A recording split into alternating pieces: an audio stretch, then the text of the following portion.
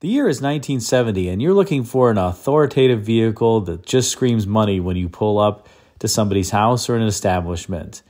Your choice might be this 1970 Cadillac Fleetwood Brougham.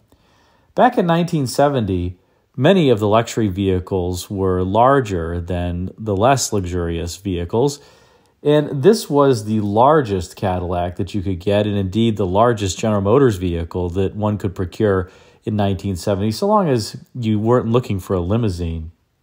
The Fleetwood Brougham rode atop a 133 inch wheelbase, which compared to the Calais and DeVille series riding atop 129.5 inch wheelbase. And it would be the last year for this particular body style of Fleetwood Brougham before it would be changed in 1971, along with the rest of the full size Cadillac lineup, including the DeVille, Calais, and Eldorado series. For a base price of about $7,300 in 1970, or the equivalent of about $60,000 today, buyers got a vehicle that was 228 and a half inches in overall length and had numerous luxury features and appointments on the inside.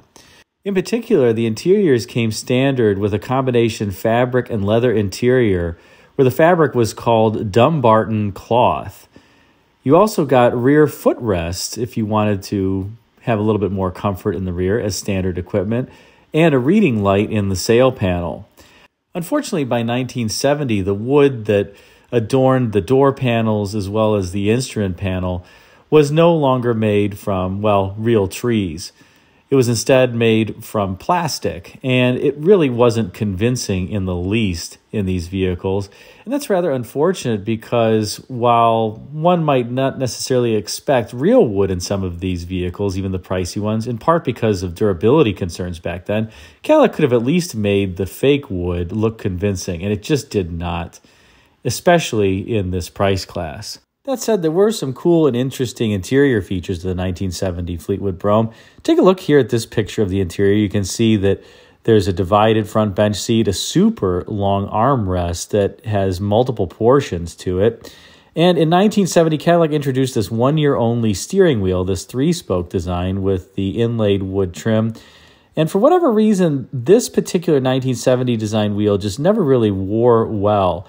It seems in many of these 1970 vehicles that the steering wheel just looks pretty ratty, and this is a low mileage car. And it looks okay here, but many of them just doesn't look right, looks a bit out of place, and perhaps that's why they changed the steering wheel in 1971. You can also see here the wiper control, which was integrated into the door. A pretty interesting design and one that would stick around on Cadillacs until the 1974 model year when the dash would be redesigned and they would go to what I would say is my least favorite control almost of the 1970s, certainly the General Motors produced, the horrible L shaped wiper control with the delay feature if you got the delay feature or the mist position if you didn't have the delay feature. Here's a closer look at the instrument panel. And this instrument panel was redesigned for the 1969 model year and was shared across the DeVille, Calais, Fleetwood, and Eldorado series. It really is a somewhat cheap looking instrument panel, if we're honest with ourselves.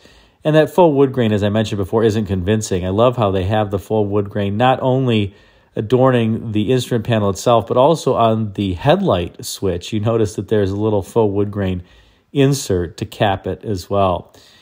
Now, this car does have automatic climate control, which was pretty typical, although optional in Cadillacs. Yes, you did not get air conditioning standard. You had to get an AMC Ambassador if you wanted a standard air conditioned equipped car in the early 1970s.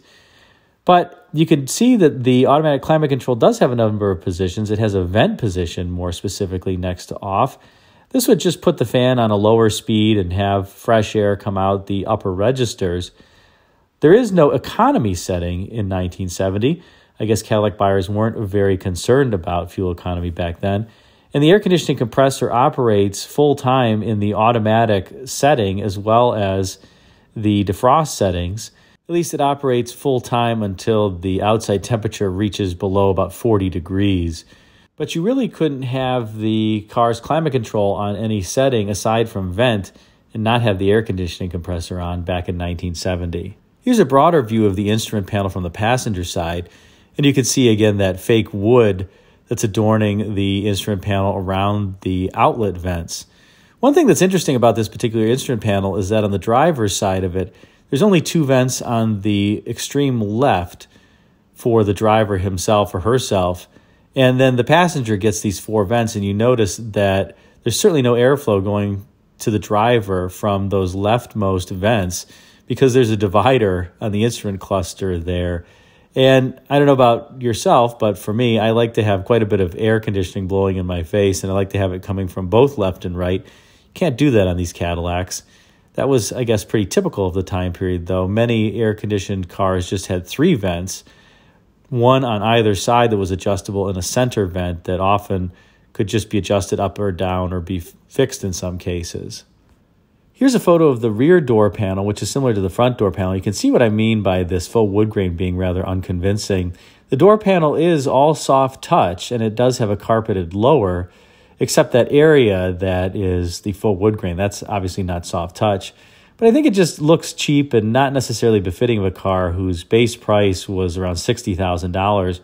And that pull strap also just doesn't look very luxurious. It's a molded piece of vinyl and isn't something that feels great when you grab onto it. The doors on these cars also close okay. I wouldn't say they close as nicely as the Fords of the era. So this was one area in which Cadillac, I think, was letting down its buyers a bit in terms of overall quality was just the interior appointments by this time frame. At least the rear seat passengers did get some level of comfort, particularly with these integrated footrests I've sat in these vehicles with a footrest, and I don't know if they're really all that comfortable compared to not having them, but I guess some people found them interesting, although wonder what it would look like if you got into the car on snowy days and tried to use them. Probably didn't look very good for very long on many of these vehicles. Turning under hood, I will say one element of this 1970 Fleetwood that is just excellent overall is the engine and transmission combination. This is the last year for the high compression 472 cubic inch V8. It made 375 horsepower, and it really propelled this Fleetwood around with good speed. The throttle tip-in on these engines isn't all that great, but when you stomp on the accelerator, they really do move well. You can see Cadillac also had its uniquely designed air conditioning compressor. That's the standard GM A6 Frigidaire air conditioning compressor, but Cadillac typically mounted it in the middle of the V so as to minimize vibration. No other GM division would do that.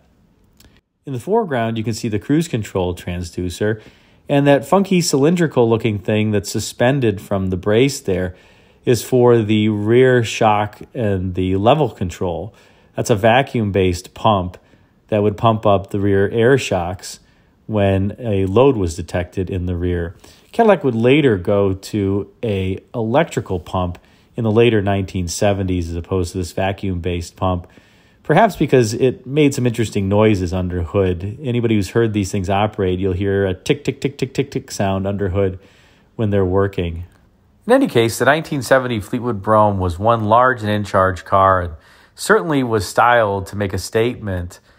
It's not necessarily beautiful, but it is a handsome car, and I love how the grill is just so in your face that is certainly a front end that you wouldn't want staring at you in your rear view mirror.